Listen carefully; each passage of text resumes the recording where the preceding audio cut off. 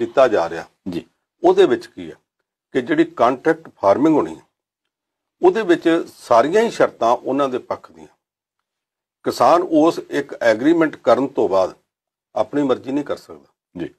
ਉਹਦੀ ਫਸਲ ਖਰਾਬ ਨਿਕਲੀ ਕੰਪਨੀ ਨੇ ਚੁੱਕਣੀ ਨਹੀਂ ਉਹਦੇ ਪੇਟੇ ਪੈ ਜਾਣੀ ਹੈ ਫਸਲ ਵੀ ਕਿਹੜੀ ਬੀਜਣੀ ਹੈ ਕੰਪਨੀ ਦੱਸੇਗੀ ਕਿਉਂਕਿ ਕੰਪਨੀ ਕੋਲ ਜ਼ਮੀਨ ਲੀਜ਼ ਤੇ ਦੇਤੀ ਹੈ ਜੀ। ਜ਼ਮੀਨ ਤੁਹਾਡੀ ਆ ਲੀਜ਼ ਤੇ ਦੇਣ ਤੋਂ ਬਾਅਦ ਉਸੇ ਜ਼ਮੀਨ ਦੇ ਉੱਤੇ ਕੰਪਨੀ ਕਰਜ਼ਾ ਲੈ ਸਕਦੀ ਹੈ। ਐਗਰੀਮੈਂਟ ਦੀਆਂ ਸ਼ਰਤਾਂ ਇਹ ਕਹਿੰਦੀਆਂ ਕਿ ਤੁਸੀਂ ਐਗਰੀਮੈਂਟ ਰੱਦ ਨਹੀਂ ਕਰ ਸਕਦੇ ਤੇ ਕੰਪਨੀ ਚਾਹੇ ਤੇ ਚੁਟਕੀ ਮਾਰ ਕੇ ਰੱਦ ਕਰ ਸਕਦੀ ਹੈ। ਜੀ। ਅੱਜ ਤੁਹਾਡੀ ਜ਼ਮੀਨ ਕੰਪਨੀ ਨੇ ਲਈ ਲੀਜ਼ ਤੇ। ਕੰਟਰੈਕਟ ਹੋ ਗਿਆ। ਇੱਕ ਮਹੀਨੇ ਬਾਅਦ ਕੰਪਨੀ ਨੇ ਉਹਦੇ ਉੱਤੇ ਕਰਜ਼ਾ ਲੈ ਲਿਆ।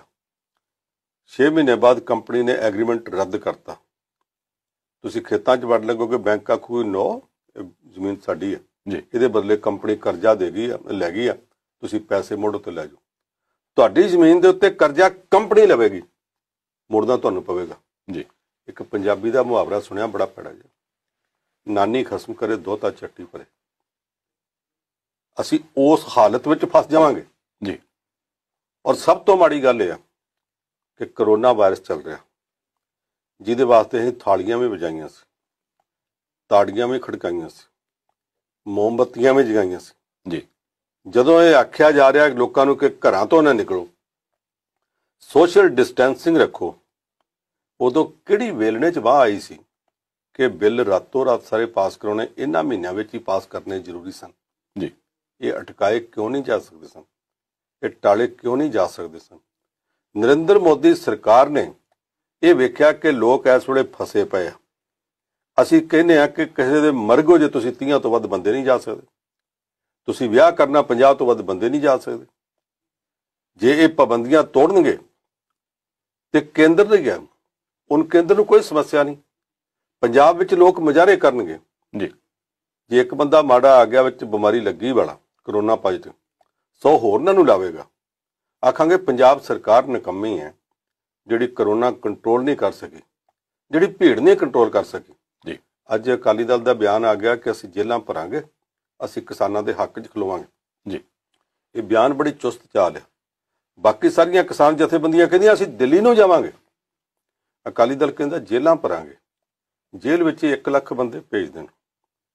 ਉਹ ਜਿਹੜੇ 1 ਲੱਖ ਬੰਦੇ ਜੇਲ੍ਹ ਚ ਹੋਣਗੇ ਉਹਨਾਂ ਦਾ ਰੋਟੀ ਪਾਣੀ ਰਿਹਾਇਸ਼ ਦਾ ਖਰਚਾ ਕੌਣ ਦੋ ਕੇਂਦਰ ਸਰਕਾਰ ਨਹੀਂ। ਪੰਜਾਬ ਸਰਕਾਰ ਦੇਵੇਗੀ। ਜੀ। ਕਿਉਂਕਿ law and order state subject ਹੈ ਜ਼ਿਲ੍ਹਾ ਦਾ ਖਰਚਾ ਪੰਜਾਬ ਸਰਕਾਰ ਨੇ ਦੇਣਾ। ਪੌੜਾ ਪਾਇਆ ਕੇਂਦਰ ਸਰਕਾਰ ਨੇ। ਭੁਗਤੇਗੀ ਪੰਜਾਬ ਸਰਕਾਰ। ਚੁਸਤੀ ਇਹ ਆ ਕਿ ਉਹਨਾਂ ਦੇ ਬਿੱਲਾਂ ਦੀ ਉਦਾਂ ਹਮਾਇਤ ਨਹੀਂ ਹੁੰਦੀ ਤੇ ਇਸ ਤਰੀਕੇ ਪੰਜਾਬ ਸਰਕਾਰ ਨੂੰ ਫਸਾ ਨਰਿੰਦਰ ਮੋਦੀ ਸਰਕਾਰ ਨੇ ਇਹ ਸੋਚ ਕੇ ਜੀ। ਕਿ ਇਸ ਵੇਲੇ ਲੋਕ ਫਸੇ ਪਏ ਆ ਇਹ ਬਾਹਰ ਨਹੀਂ ਨਿਕਲ ਸਕਦੇ। ਇਹ ਬੜੇ ਕਸੂਤੀ ਕਵੇੜੇ ਸੱਟ ਮਾਰੀ ਆ। ਔਰ ਉਹ ਕਿਸਾਨਾਂ ਦਾ ਇਹ ਸੋਚ ਕੇ ਵੀ ਇਹਨਾਂ ਤੋਂ ਮੁਜ਼ਾਹਰੇ ਨਹੀਂ ਕੀਤੇ ਜਾ ਸਕਣ। ਇਹਦੇ ਬਾਵਜੂਦ ਕਿਸਾਨ ਬਾਹਰ ਆ ਗਏ ਮੁਜ਼ਾਹਰੇ ਕਰਦੇ ਪਏ ਜੀ। ਮੈਂ ਅੱਜ ਹੀ ਪੜਦਾ ਹਟਿਆ ਬੀਜੇਪੀ ਦੇ ਇੱਕ ਲੀਡਰ ਦਾ ਬਿਆਨ ਆਇਆ। ਕਹਿੰਦਾ ਇਹਨਾਂ ਤਿੰਨ ਬਿੱਲਾਂ ਦੇ ਨਾਲ ਕਿਸਾਨਾਂ ਦੀ ਜ਼ਿੰਦਗੀ 'ਚ ਇਹੋ ਜਿਹਾ ਮੋੜ ਆਵੇਗਾ ਜਿਹੜਾ ਕਦੇ ਕਿਸੇ ਨੇ ਸੋਚਿਆ ਨਹੀਂ ਹੋਵੇਗਾ। ਜੀ। ਉਹ ਤਾਂ ਸਾਨੂੰ ਵੀ ਦਿਖਦਾ ਇਹੋ ਜਿਹਾ ਮੋੜ ਆਵੇਗਾ। ਉਹ ਮੋੜ ਇੱਕ ਤਾਂ ਆ ਹੀ ਗਿਆ। ਆ ਦੋ ਦਿਨ ਪਹਿਲਾਂ ਇੱਕ ਬੰਦਾ ਬਾਦਲ ਪਿੰਡ ਦੇ ਵਿੱਚ ਧਰਨੇ 'ਚ ਖੁਦਕੁਸ਼ੀ ਕਰ ਗਿਆ। ਜੀ। ਅਜੇ ਤੇ ਇੱਕੋ ਹੀ ਆ। ਆ ਬਿੱਲ ਤੁਸੀਂ ਲਾਗੂ ਕਰ ਲੈਣ ਦਿਓ। ਜਦੋਂ ਜ਼ਮੀਨਾਂ ਕਿਸਾਨਾਂ ਦੀਆਂ ਹੋਈਆਂ ਮਾਲਕ ਬੰਬੇ ਦੇ ਵਿੱਚ ਬੈਠੀ ਕਿਸੇ ਕੰਪਨੀ ਦਾ ਜਿਹੜਾ ਹੈਡ ਆ ਉਹ ਬਣ ਗਿਆ। ਉਹਨਾਂ ਨੇ ਕਿਸਾਨਾਂ ਦੀਆਂ ਜ਼ਮੀਨਾਂ ਤੇ ਕਰਜ਼ੇ ਲੈ ਲਏ। ਇਹ ਫਿਰ ਇਹ ਹੈ ਕਿ ਐਡਾ ਵੱਡਾ ਮੋੜ ਆ ਜਾਏਗਾ ਕਿ ਜਿਹੜੇ ਪਿੰਡ 'ਚ ਇੱਕ ਦੋ ਪੰਜ ਖੁਦਕੁਸ਼ੀਆਂ ਸਾਲ ਦੀਆਂ ਹੁੰਦੀਆਂ ਫਿਰ 50 60 ਹੋਣਗੀਆਂ ਪਿੰਡਾਂ ਦੇ ਪਿੰਡ ਤਬਾਹ ਹੋ ਜਾਣਗੇ। ਜੀ। ਬਿਹਾਰ ਦੀ ਮਿਸਾਲ ਸਾਡੇ ਸਾਹਮਣੇ ਬਿਹਾਰ ਦੇ ਵਿੱਚ ਸ਼ਾਇਦ 2006 ਜਾਂ 7 ਦੇ ਵਿੱਚ ਘੱਟੋ ਘੱਟ ਖਰੀਦ ਕੀਮਤ ਖਤਮ ਕਰ ਦਿੱਤੀ ਗਈ ਸੀ। ਜੀ। ਉਹਦੇ ਤੋਂ ਬਾਅਦ ਉਹਨਾਂ ਦੀਆਂ ਫਸਲਾਂ ਜਦੋਂ ਆਉਂਦੀਆਂ ਨੇ ਉਦੋਂ ਵਿਕਦੀਆਂ ਨਹੀਂ। ਉਹ ਬਹੁਤ ਸਸਤੇ ਭਾਅ ਵਪਾਰੀ ਲੈ ਕੇ ਆਪਣੇ ਕੋਲਡ ਸਟੋਰਾਂ 'ਚ ਰੱਖ ਦਿੰਦੇ ਆ। ਤਿੰਨ ਮਹੀਨਿਆਂ ਬਾਅਦ ਉਹ ਫਸਲਾਂ 10 ਗੁਣੇ ਮੁੱਲ ਤੇ ਵਿਕਦੀਆਂ। ਜੀ। ਉਹਦਾ ਨਤੀਜਾ ਕੀ ਹੈ? ਜਿਹੜਾ ਬਿਹਾਰ ਦਾ ਕਿਸਾਨ 10 ਕਿੱਲੇ ਦਾ ਮਾਲਕ ਹੈ ਉਹ ਪੰਜਾਬ ਦੇ ਵਿੱਚ ਆ ਕੇ ਤਿੰਨਾਂ ਕਿੱਲਿਆਂ ਵਾਲੇ ਦੇ ਕੋਲ ਖੇਤਾਂ 'ਚ ਦਿਹਾੜੀਆਂ ਕਰਦਾ ਹੈ। ਔਰ ਉਹ ਦੱਸਦਾ ਹੈ ਕਿ ਅਸੀਂ ਇਸ ਕਰਕੇ ਕਰਦੇ ਹਾਂ ਕਿਉਂਕਿ ਸਾਡੇ ਪ੍ਰਬੰਧ ਇਦਾਂ ਦਾ। ਜੀ।